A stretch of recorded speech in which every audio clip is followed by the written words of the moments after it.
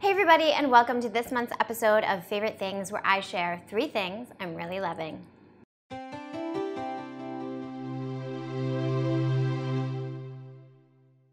Okay, so the first thing I want to share with you is this cardigan that I got the other day at Lucky. It's like this long drape cardigan that's super warm and cozy and just really easy to throw on over basics. I am a basics kind of person. I'm wearing leggings from Lululemon, a $3 tank from Forever 21, some over the knee boots, and then I just kind of dress it up a little bit. This is my version of dressed up with this cardigan, which I feel like I could wear to dinner or just hang around the house and feel cozy yet put together.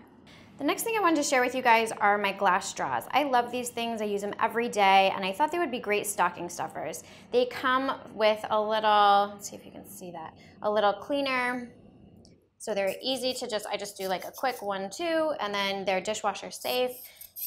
And you just throw them in and you're good to go. I thought they would be really good for anybody who's earth conscious and health conscious and just make a cute little holiday gift.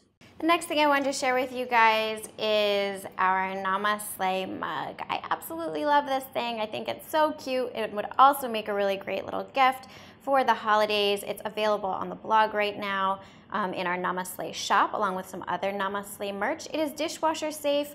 I've run it through a bunch of times and I don't see any signs of wear at all.